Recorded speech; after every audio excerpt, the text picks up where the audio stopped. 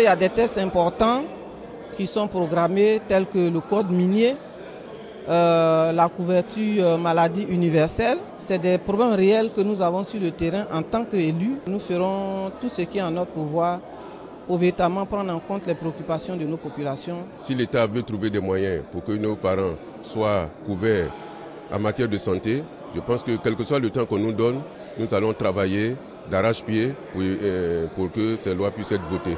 Le code de l'électricité est important et surtout le code minier, vous le savez aujourd'hui, dans bon nombre de régions pose problème.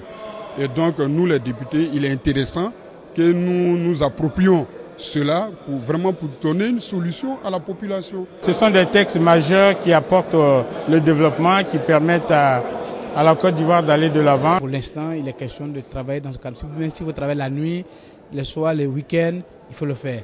Maintenant, les présidents de commission euh, ont la, la, latitude de demander euh, au bureau président que, ben, compte tenu de l'immensité des de, de, de travaux et de l'importance surtout de ces tests, l'importance de ces tests, il peut demander ben, qu'on lui accorde un délai supplémentaire de 24 heures, 48 heures, 112 heures, pourquoi pas une semaine.